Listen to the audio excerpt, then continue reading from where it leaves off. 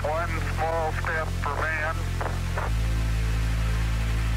One giant leap for mankind.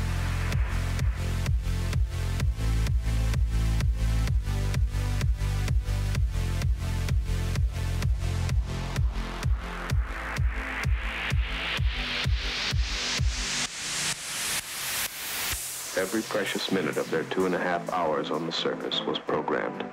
Rock and soil samples were to be collected, photographs taken, experiments set up to catch unfiltered particles from the sun, to record moonquakes, to measure precisely by laser beam reflection the exact distance between moon and earth.